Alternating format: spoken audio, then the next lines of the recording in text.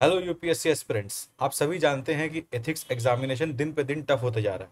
तो UPSC mains examination में general studies का जो पेपर है जनरल स्टडीज़ फोर जो कि एथिक्स इंटीग्रिटी एंड एप्टीट्यूड है, उसमें कैसे कोई एस्पिरेंट मैक्सिमम नंबर स्कोर कर सकता है?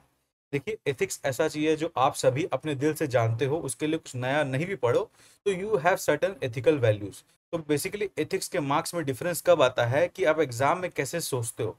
How you are able to think clearly in the examination इस स्किल को डेवलप करने के लिए। हम लोग प्रीवियस ईयर क्वेश्चन एथिक्स का लास्ट तीन साल का डिस्कस कर रहे हैं हमारे चैनल पे सिंपली लर्न यूपीएससी। तो हम लोग पास्ट तीन साल का पेपर डिस्कस करना चाह रहे हैं कुछ इंटरेस्टेड एस्पिरेंट्स के संग गूगल मीट पे ऑनलाइन लाइव क्लासेस के माध्यम से।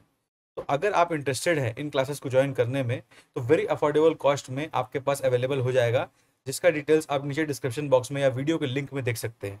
तो अगर एथिक्स ऐसा कुछ है जो आपको ट्रेवल करके रखा है और एग्ज़ाम के एक महीना पहले आप स्ट्रेस्ड हो तो ये कोर्स आप ही के लिए है। ये लेक्चर जो हम करा रहे हैं वर्कशॉप के माध्यम से करा रहे हैं लाइव होगा गूगल मीट पे, जिसमें आपके क्वेरीज को लाइव आंसर किया जाएगा। तो प्रीवियस ईयर के क्वेश्चंस देखने के बाद अगर आप स्ट्रेस्ड हो और आप चाहते हो उसको कोई एड्रेस करे तो हमारे संग जुड़े सिंपली लर्न यूपीएससी के संग। बेस्ट विशेष